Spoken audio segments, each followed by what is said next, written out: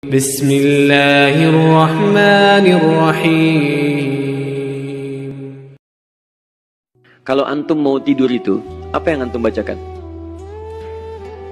Bismillahumma ahya wa amut. Itu kan atau dalam riwayat hadisnya Bismillahumma amut wa ahya. Lihat sini baik-baik.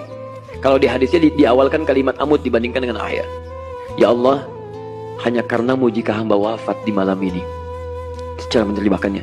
Kalau mau be- lebih bebas lagi, Ya Allah, jika memang tidur ini menjadi tidur terakhir bagi saya. Dan saya meninggal dalam tidur saya. Maka saya mohon ya Allah, wafatkan saya dengan namamu. Wafatkan saya dalam ribamu. Dengan namamu saya akan wafat.